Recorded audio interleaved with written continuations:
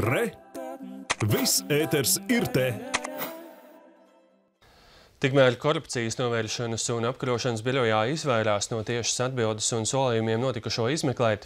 Knāba valsts amatpersonu darbības kontrolas nodaļas vadītājs Andris Donskis, kuru runāt par šo tematu deleģēja biroja preses dienests, panorāmai sacīja, ka nevarot pateikt, vai izskanējušās ziņas un deklarācijās esošā informācija būs pamats padziļinātai pārbaudai kādā mērā un kādā nu, nolūkā šī te, teiksim, žurnālistu uh,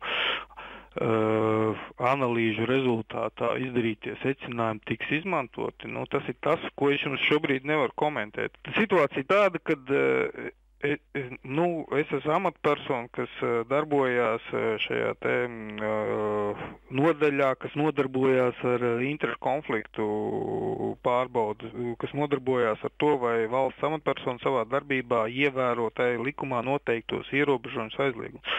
Saistībā ar, ar, ar kaut kādām viņu tādām jau nelikumīgām darbībām, kas tur tika izteiktas aizdomas par to, ka uh, amatpersonas iespējams tur uh, pretiesiskā ceļā gūst ienākums un tādā veidā caur šiem te dāvinājumiem un tā tālāk um, legalizē viņus. Nu, tā, šis nu, nav gluži mans lauciņš, tāpēc es nevaru kolēģi vietā tā teikt pateikt, eh, ko vai tas rezultēsies kaut kādās padziļinātās pārbaudas dēļ vai nē.